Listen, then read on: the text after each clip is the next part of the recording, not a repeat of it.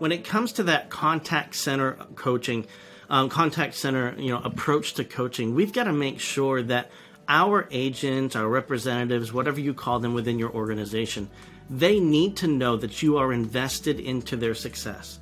If they feel like you're just checking a box, if they feel like, oh, he's just doing this or she's just doing this because they're getting graded on it, their commission's based on this, you're going to have a very hard time engaging your agents. And so it's very important that when you go into it, that, that you really understand who you're working with. You know, when we start our coaching, the first coaching that we do with new agents is a getting to know you session. What is it that drives you? What is it that causes you to come to work every day? Why are you doing what you're doing? And when you begin to know the why, you can then relate to them and ensure that they know that you're there to help them through that process. Whatever their goal is, that, you know, whether they want to be a manager, they want to make more money, they want to travel and, and work on different teams, they need to know that you're invested, that you're engaged into their success.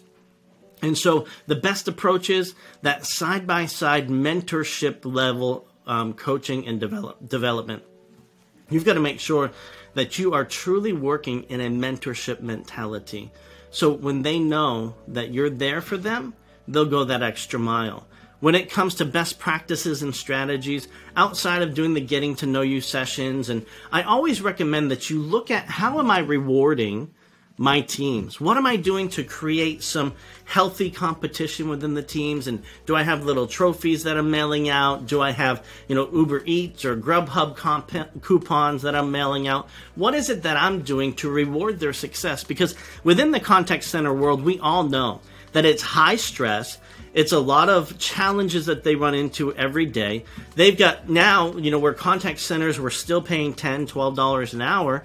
Now you've got McDonald's, and I just saw this morning Hobby Lobby, $18.50 an hour minimum wage. We have to compete with that. So if you're not coaching and developing and showing them that you're invested in their success, you're going to lose them. Your attrition is going to be high. Your turnover rate is going to be extremely high. But when you begin to mentor them, focus on those behaviors.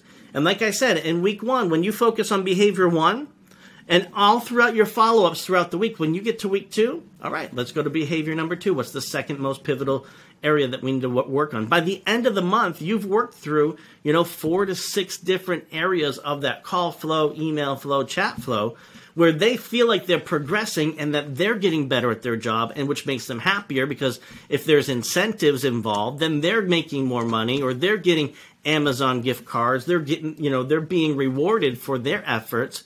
And so your entire team begins to improve. And then you as the leader because you're investing in your team, because you're mentoring your team, you're putting in practice these best practices, your team begins to improve, and then you as a leader begin to be noticed within the organization, and it begins to lift the ceiling off of your head that's been holding you back for so long.